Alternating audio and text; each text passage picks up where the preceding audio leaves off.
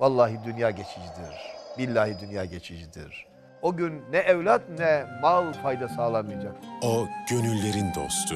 İki ölçümüz var. Kur'an ve Resulullah. Ona uyuyorsa eyvallah. Baş tacı. O güzel insan. O Nihat Hatipoğlu. Bütün toplumu kucaklaştır ya Rabbi. Kimseyi dışlamamayı, kimseyi kötü görmemeyi nasip eyle ya Rabbi. Profesör Doktor Nihat Hatipoğlu yakında sevenleriyle ATV'de buluşuyor. ATV kanalına abone olun, hiçbir şeyi kaçırmayın.